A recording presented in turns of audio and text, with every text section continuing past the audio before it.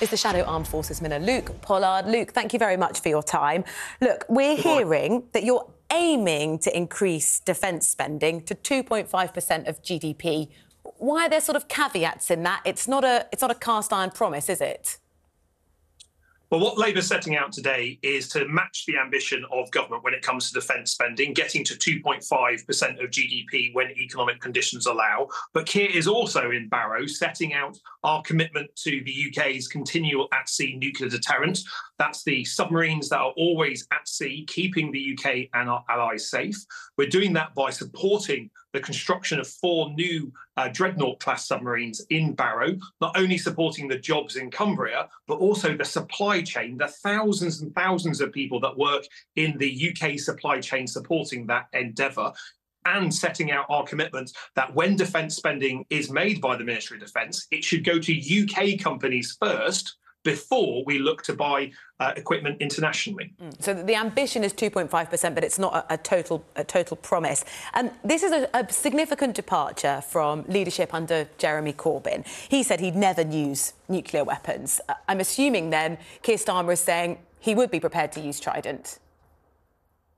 Yeah, Keir has changed the Labour Party, and that's very clear. Uh, it's really important that when, as a party, we're going into the next general election, we can be trusted not only on economic security, but national security as well. And that is especially important when we are seeing the threats to the United Kingdom rise internationally, where we're seeing growing Russian aggression, not just to our ally in Ukraine, but to our allies in Eastern Europe and to the UK as well. That's why we need to address the hollowing out and underfunding of our armed forces that we've seen over the last 14 years. They're the Defence Secretary, Ben Wallace, when he was Defence Secretary, they were his descriptions, his words of what Tory defence policy had done. So and on, and on concern, I'm sorry, on Labour policy, just to be really clear, then you would be prepared to push the button.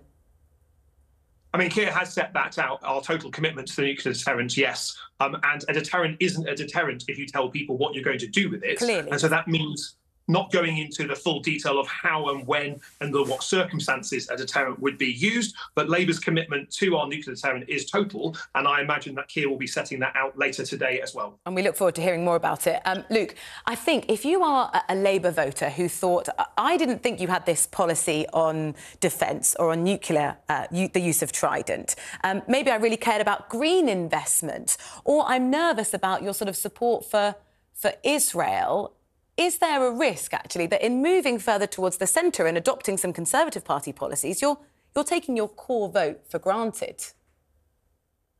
Well, Keir's very clear that there is no complacency for any voter group. We need to win votes from people right across the political spectrum who voted Labour and who didn't vote Labour at the last general election.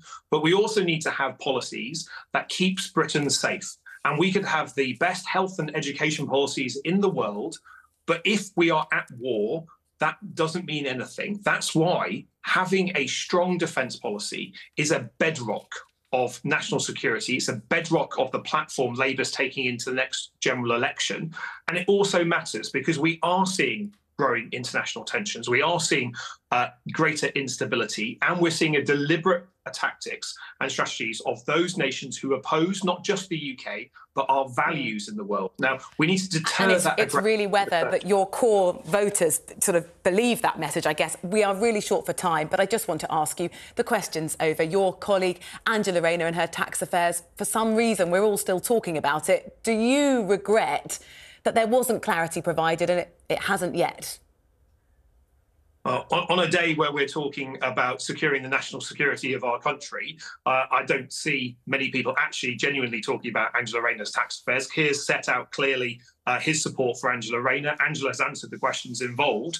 But when it comes to high waiting lists, when it comes to uh, an economic recession, when it comes to growing threats to our national security, they're the areas that I want our politicians focusing on and not the tittle tattle of what happened 10 years ago with Angela's ex husband. And that is the desperate attempt of the Labour Party, and yet those questions still keep coming. Luke Pollard, thank also, you. It's also my actual position. I don't. I think there are bigger issues at stake here.